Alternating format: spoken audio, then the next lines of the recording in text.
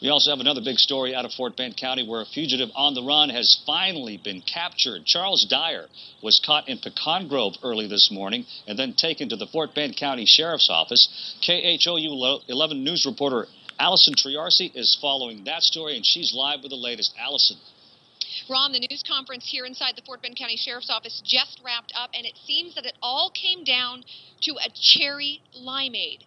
That is what Charles Dyer told deputies. That, in fact, he came out from hiding along the Brazos River where he says he's been camped out for five days because he was tired and thirsty and wanted a Route 44 cherry limeade from Sonic.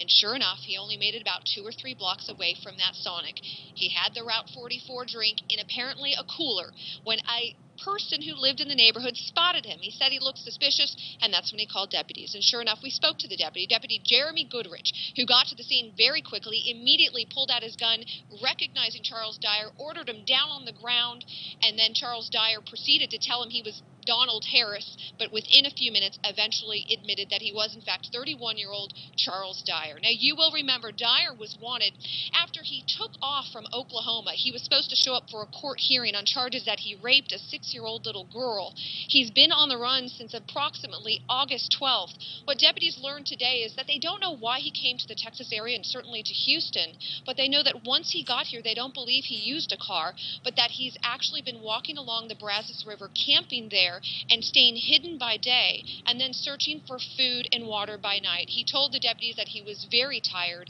Here's what the chief deputy had to say about his capture. Anytime you get a fugitive off the street, especially one that is a child predator, uh, it's a major accomplishment. Uh, we're very fortunate that we don't have any indications assaulted or even approached by him at this point in Texas. So it's a it's a major accomplishment to take any wanted fugitive off the street.